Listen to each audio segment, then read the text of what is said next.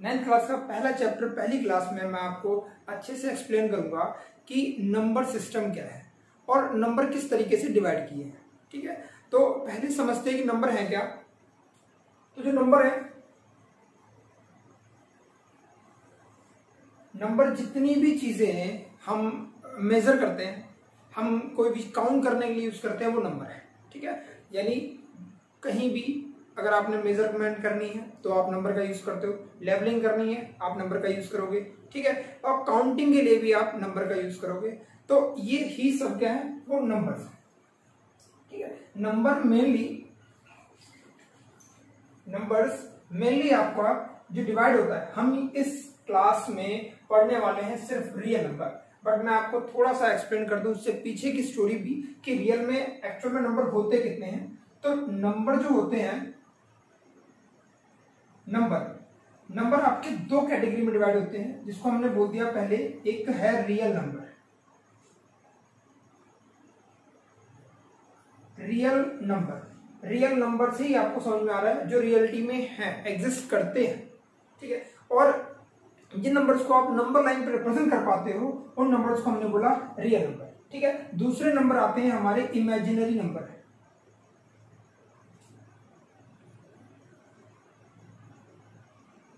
Imaginary numbers imaginary numbers क्या होते हैं? जो एक्चुअल में होते ही नहीं है। यानी हम उनको इमेजिन कर सकते हैं। हम उनको लिखने का तरीका अलग होता है। यानी जो रूट के अंदर, याद रखना रूट के अंदर जो नेगेटिव नंबर होते हैं, वो हमारे इमेजिनरी नंबर होते हैं, जो कि आपका नाइन्थ का टॉपिक नहीं है, ना टेंथ का टॉपिक है टॉपिक है इलेवंथ का, जिसको हम बोलते हैं कॉम्प्लेक्स नंबर कॉम्प्लेक्स नंबर जिसको हम बोलते हैं, ये इलेवन का टॉपिक है। इसलिए क्योंकि हमें नंबर के अंदर भी, हमें सिर्फ़ रियल नंबर की बात करते हैं इमेजिनरी नंबर की बात नहीं करते। ठीक है? इसलिए हम इनको पढ़ते भी नहीं। तो एक्चुअल में हमारे जितने भी नंबर है, हमारे जो नंबर है, जितने भी नंबर है, वो मेनली रियल नंबर पढ़ेंगे हम और रियल नंबर दो कैटेगरी में डिवाइड होते हैं। एक है विद डेसिमल और एक है विदाउट डेसिमल्स ठीक है? जो विद डेसिमल है डेसिमल है वो तीन तरीके से आप अलग कर सकते हो। एक वो जो टर्मिनेट कर जाए यानी मैं आपको लिख देता हूँ। एक बार देखो आप कि अगर मैंने थ्री बाई टू लिया और इसको मैंने सॉल्व किया तो क्या आएगा? वन पॉइंट फाइव टर्मिनेट कर गया ठीक है? एक नंबर ऐसा है जो कि क्या है? जो कि वन बाय थ्री लिखा मैंने और इसको सॉल्व करो आप। आएगा answer point three three three और ये टर्मिनेट नहीं करेगा, जैसा कि ये नंबर है। यानी रिपीट हो रहा है थ्री बार बार रिपीट हो रहा है तो ऐसे नंबर जो कि रिपीट होते हैं, एक वो कैटेगरी होगी। तीसरी कैटेगरी हो गई, जिसमें नंबर ना तो टर्मिनेट कर रहा ना रिपीट कर रहा अब देखो कि two point zero one zero zero one zero zero one यानी तीन पहले एक ज़ीरो, फिर दो ज़ीरो, फिर तीन ज़ीरो, फिर चार ज़ीरो, पाँच ज़ीरो, और इस तरीके से नंबर क्या होगा? आगे बढ़ता रहेगा, यानी कभी भी ना टर्मिनेट करेगा, ना रिपीट करेगा। तो तो ये जो नंबर हमारे विद डेसिमल वाले, वो तीन कैटेगरी में हो गए। पहली वाली को हम बोलते हैं टर्मिनेटिंग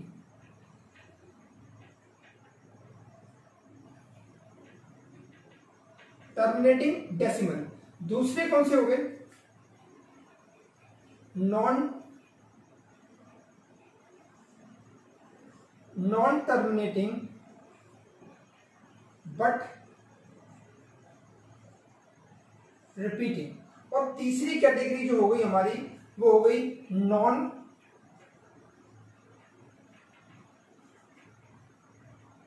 non terminating,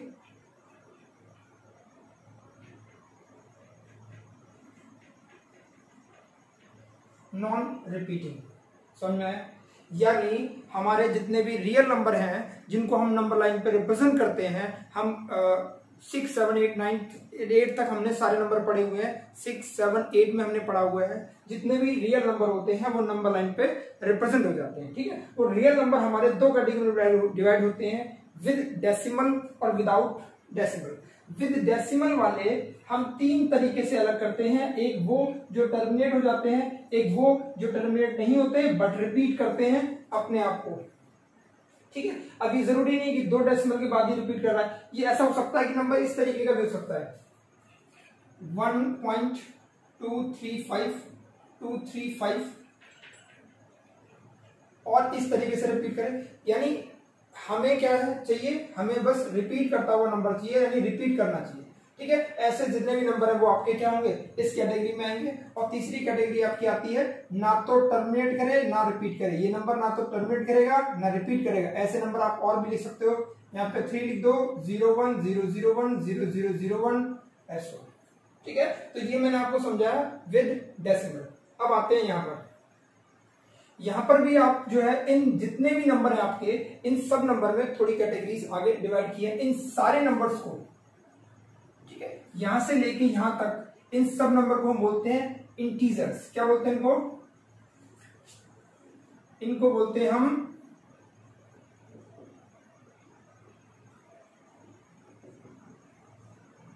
इंटीजर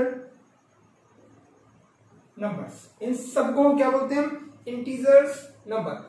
अब इंटीजर नंबर के अंदर हमारे पास जो ये नंबर होते हैं, इनको हम बोलते हैं पॉजिटिव इंटीजर और ये जो नंबर होते हैं, इनको हम बोलते हैं नेगेटिव इंटीजर और ए ज़ीरो बच गया, उसको बोलते हैं हम ज़ीरो इंटीजर ध्यान समझना। माइनस इंफिनिटी से लेके प्लस इंफिनिटी तक के नंबर जितने भी होते हैं, वो हमारे होते हैं इंटीजर नंबर्स, ठीक है? अब इंटीजर नंबर के अंदर भी हमारे पास, क्योंकि ज़ीरो के बाद के सारे नंबर पॉजिटिव हैं, ज़ीरो से पहले वाले सारे नंबर नेगेटिव हैं, ठीक है? तो नेगेटिव, इनको क्या बोलेंगे हम? नेगेटिव इंटीजर, इनको हम बोलेंगे पॉजिटिव इंटीजर। अब ध्यान सुनना। ये जो पॉजिटिव इंटीजर होते हैं, इन्हीं को हम बोलते हैं नेचुरल नंबर। नेचुरल नंबर्स हम किनको बोलते हैं? यानी one, two, three. Natural number को आप इस तरीके से ही बोल सकते हो। The number which is use for count. Use in count, यानी काउंटिंग में जो काउंटिंग नंबर आप इनको बोल सकते हो, क्या बोल सकते हैं इनको? इनको आप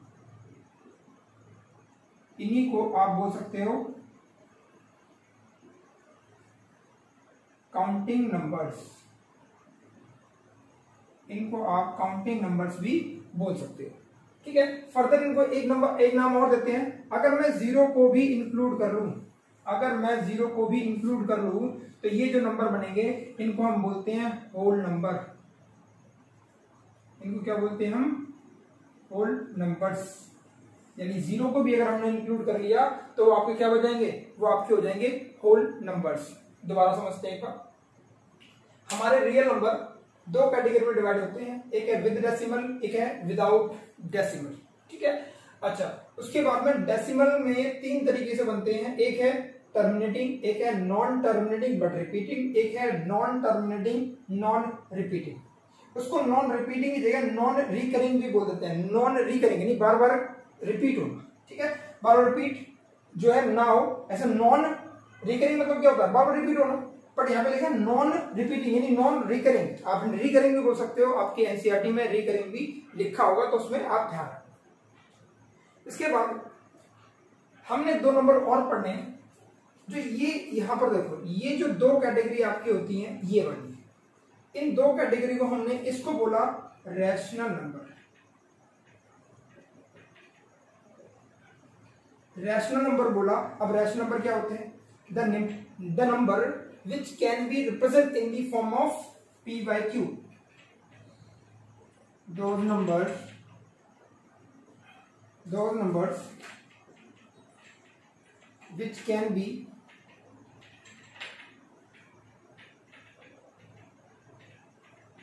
represent in the form of p by q where p and q are integer and q not equal to zero ध्यान रखना। यानी रैशनल नंबर जो है, आपके जो रैशनल नंबर है, वो p बाई क्यू की फॉर्म में रिप्रेजेंट कर सकते हो बट p और q दोनों क्या होंगे? इंटीजर होंगे और q not equal to zero यानी आप ऐसा नहीं कह सकते कि टू बाय ज़ीरो आप कहोगे टू और ज़ीरो दोनों इंटीजर है बट ज़ीरो जो है क्यू की वैल्यू कभी भी ज़ीरो नहीं होगी तो ये हमारा रैशनल नंबर नहीं कहलाएगा। दूसरा, जो ये नंबर बच गए इनको हम बोलते हैं इरेशनल नंबर इरेशनल नंबर यानी जो पी बाई क्यू की फॉर्म में रिप्रेजेंट ही नहीं हो सकते, उन नंबर्स को हम क्या बोलते हैं? इरेशनल नंबर्स एक चीज़ और। फिर आप कहोगे कि अगर हम ऐसे नंबर्स को जो p बाई क्यू की फॉर्म में लिख सकते हैं, यानी जिन नंबर्स को हम p बाय क्यू की फॉर्म में लिख सकते हैं, अगर हम उनको रैशनल बोलते हैं तो क्या मैं ज़ीरो को भी रैशनल बोल सकता हूँ? हाँ बिल्कुल बोल सकते हैं। देखो, अगर ज़ीरो अपॉन वन देखो, कोई भी, ये अंडरस्टूड है, कोई भी नंबर लिखा हुआ है एक्स वाई जेड कुछ भी लिखा है, उसके नीचे, यानी डिनोमीटर में क्या होगा? अंडरस्टूड है कि वन माना जाता है। ठीक है? अब ज़ीरो को देखो, आप ऊपर वाला भी इंटीजर नीचे वाला भी इंटीजर और नीचे वाला जो है q not equal to zero है। बिल्कुल ठीक है। तो ये क्या होगा? ये रैशनल होगा। अब दिमाग में आ रहा होगा आपके कि ये तो इंटीजर्स जो हैं, जितने भी आपके हैं one two three four minus one minus two minus three इनको भी आप पीवाई क्यू की फॉर्म में लिख सकते हो। बिल्कुल सही समझा आपने। आप इनको भी पीवाई क्यू की फॉर्म में लिख सकते हो। इसलिए जितने भी इंटीजर्स हैं, वो सबकी सब आपके रैशनल नंबर के अंदर आते हैं। ठीक है? एक चीज़ और समझ लेना, दोबारा बोल रहा हूँ। दोबारा समझ लो। कहने का मतलब यह हुआ कि अगर इंटीजर रैशनल नंबर है, ये दो कैटेगरी रैशनल नंबर है, ये वाला कैटेगरी रैशनल नंबर है तो नंबर जो होते हैं रियल नंबर्स जो हो गए, वो आपके सिर्फ़ दो कैटेगरी में डिवाइड हुए। वो क्या है? एक तो रैशनल मैं थोड़ा सा नीचे लिख देता हूँ उसको एक हो गया रैशनल नंबर और दूसरा हो गया इरेशनल नंबर्स ठीक है? यानी रियल नंबर हमने यहाँ पे समझा पूरा नंबर सिस्टम के अकॉर्डिंग कि हमने नंबर सिस्टम में नंबर्स को किस तरीके से कैटेगराइज किया है। ठीक है? तो हम यहाँ पे डायरेक्ट ये ना करके हमने क्या बोला? हमने कहा डेसिमल और विदाउट डेसिमल बट अब मैं बता रहा हूँ आपको कि जितने भी इंटीजर्स हैं, और ये दो कैटेगरी मिला के बनते हैं रैशनल क्योंकि रैशनल कहता है कि जो पी वाई क्यू की फॉर्म में लिख सकते हैं, वो रैशनल है, जो नहीं लिख सकते, वो इरेशनल है। ये क्यों नहीं लिख सकते? ये मैं बताऊँगा आपको थोड़ी देर में। बट आप सोचो कि ये दो कैटेगरी आपको डिवाइड है तो रियल नंबर किसमें डिवाइड हुआ है? एक तो रैशनल में, दूसरा इरेशनल में। यानी ये दो नंबर में ही अपना पूरा नंबर सिस्टम आ गया है। ठीक है? तो आप इस चैप्टर में आप यही पढ़ोगे कि कोई नंबर रैशनल है नहीं है। कोई नंबर रैशनल नंबर है तो इसके बीच के दस रैशनल नंबर बताओ। कोई इरेशनल नंबर है या नहीं है और इरेशनल नंबर इसके इन दो नंबर के बीच में इरेशनल नंबर निकालो। कुछ इस तरीके से क्वेश्चन आते हैं। बट उससे पहले, जाने से पहले मैं थोड़ा सा और क्लियर कर दूँगा आपको नंबर्स को लेके। जैसे आपके दिमाग में आ रहा है फोर अब पूछे कोई टीचर कि फोर बताओ कि वो रैशनल है कि इरेशनल है, या वो इंटीजर है, या वो होल नंबर है? तो आप देखो कि ये नंबर फ़र्स्ट नेचुरल नंबर ये क्या है? नेचुरल नंबर यानी वन टू इंफिनिटी क्या है? नेचुरल नंबर है, ठीक है? तो फोर जो है, वो नेचुरल नंबर भी है। नेचुरल नंबर भी है, दूसरा। आप देखो कि यहाँ से ज़ीरो से लेके इन्फिनिटी तक क्या है? होल नंबर है। तो आप फोर क्या है? होल नंबर के अंदर भी आता है। अच्छा अब फोर जो है इन्फिनिटी के माइनस इंफिनिटी से लेके प्लस इंफिनिटी के बीच भी आता है। मतलब इंटीजर्स के अंदर भी आ रहा है। तो आप फोर को क्या बोल सकते हो? आप फोर को इंटीजर भी बोल सकते हो। ठीक है? और इस फोर को आप फोर बाय वन भी ले सकते हो तो यानी आप इसको रैशनल नंबर भी बोल सकते हो।